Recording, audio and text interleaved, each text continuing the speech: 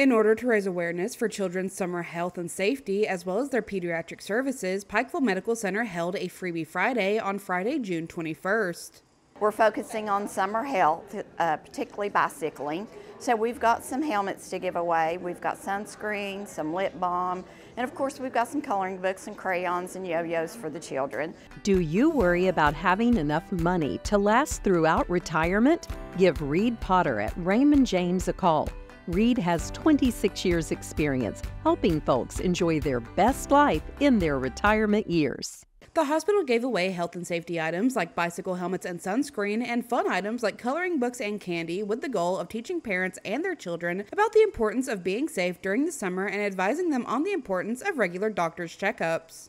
So, in the summertime, children are out being active, playing, and accidents do happen.